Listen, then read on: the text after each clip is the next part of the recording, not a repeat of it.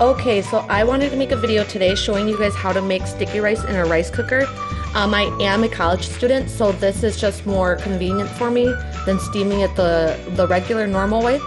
So what I have in here is um, sticky rice. I think it's like called a glutinous rice or something like that, but it's the Apple brand. It's, it's this brand right here.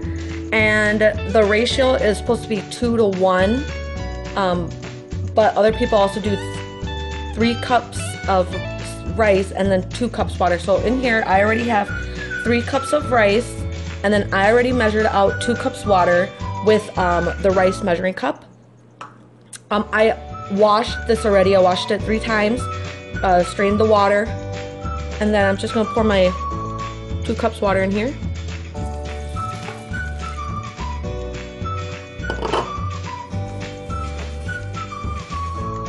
Okay.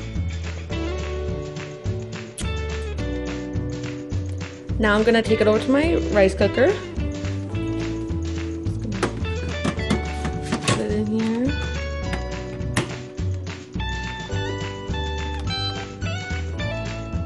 Now even though this is white rice, um, I've tried it in the past and it still works.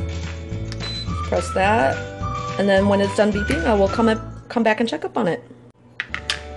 Okay, so the rice. Move it out. Look at that. And stir it.